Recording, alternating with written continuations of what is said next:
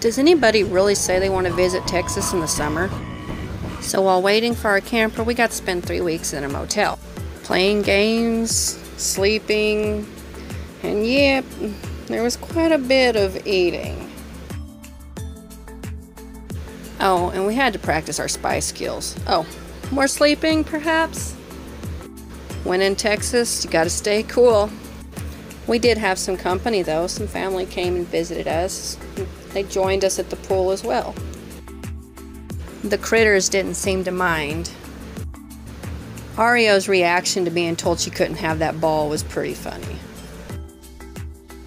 Oh, big brave Ario. Scared of the puppy on the phone. Now that was entertaining. Of course, Rue had to find something to do, tormenting Ario.